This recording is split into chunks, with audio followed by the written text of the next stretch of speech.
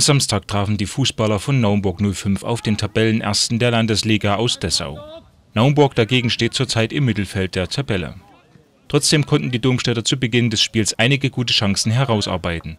Sie setzten die Gäste unter Druck und wurden in der dritten Minute mit dem Führungstor belohnt. Doch dabei sollte es zumindest für die erste Halbzeit auch bleiben. Naumburg konnte seine Chancen nicht weiter nutzen und auch die Gäste schafften es nicht, das Spiel zu drehen. So sah die erste Halbzeit noch recht gut aus, wie Christoph Radig, der Naumburger Trainer, vor unserer Kamera einschätzte. Mit einem Punkt haben wir abgeschnitten. Ähm, betrachten wir jetzt unser Spiel, muss man von Licht und Schatten von zwei Halbzeiten reden.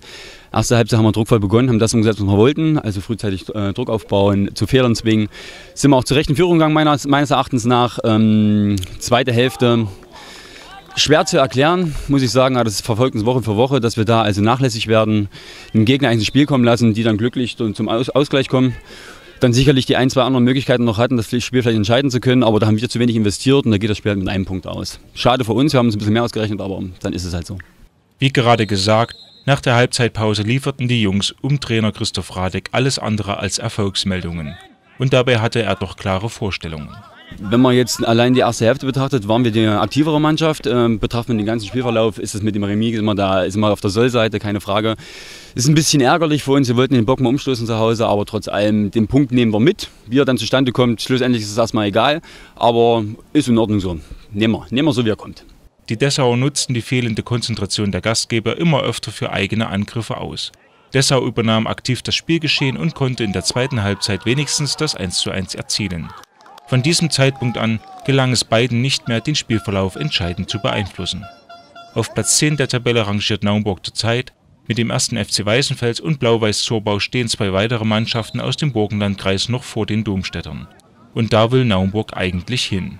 Ausgeschriebenes Saisonziel ist, dass wir uns oben ansehen wollen, im ersten, äh, ersten Drittel der Tabelle. Das haben wir ein bisschen aus den Augen verloren jetzt aufgrund der Spieltage, die jetzt vergangen sind.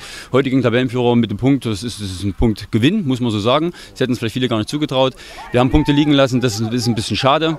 Es kommen jetzt noch Gegner, wo wir uns mehr vornehmen müssen, um ein bisschen Anschluss zu erlangen. Also Platz 5 ist so unser Ziel, da möchten wir hin. Doch Platz 5 wird gerade, wie in der letzten Saison, von den Zorbauern gehalten. Da muss Naumburg noch zulegen, denn bisher war er das Mittelfeld der Tabelle ihr Revier. Ob da das ständige Auf und Ab des Naumburger 05 hilfreich ist, bleibt zu bezweifeln. Aber vielleicht schafft es der Verein, den Spielern ihren angestammten Rasen in dieser Saison doch noch für ein Punktspiel zur Verfügung stellen zu können. Denn am Hallischen Anger kann zurzeit nur Trainingsbetrieb stattfinden. Das Sommerhochwasser hat auch hier seine Spuren hinterlassen. Vielleicht ist das der bisher fehlende Ansporn für die Mannschaft. Heimspielstätte hat immer einen gewissen Charakter für uns auch. Wer ist ein kleiner, gedrungener Platz? Die Leute stehen ein bisschen enger dran, davon leben wir auch ein bisschen. Zumindest haben wir das. Äh, hier ist es was anderes, wobei ich sagen muss, der Platz ist ein Top-Zustand. Die Stadt stellt uns den äh, super zur Verfügung. Ist ein anderes Spiel, ist ein größerer Platz und klar nimmt man sich den kleinen Vorteil, den man zu Hause hat. Am kommenden Sonnabend müssen die Naumburger in den Harz. Stahltale erwartet Naumburg 05. Die SG Herren Gosserstedt steht auswärts dem SV Merseburg gegenüber und der erste FC Weißenfels begrüßt am Sonntag die Mannschaft von Blau-Weiß Zorbau im Weißenfelser Stadion